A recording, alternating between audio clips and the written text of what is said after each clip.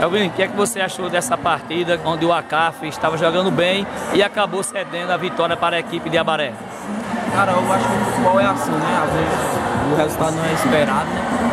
A gente trabalhou, trabalhou a semana para sair com a vitória, mas não deu, né? Agora é levantar a cabeça, é só um amistoso, né? Valia Taça, mas é só um amistoso. Levantar a cabeça tem muitas coisas. Tá, o que, é que você achou dessa partida onde a, a, equipe de Abaré estava perdendo e reverteu o placar e ganhou o amistoso valendo troféu? É, foi um bom jogo, né?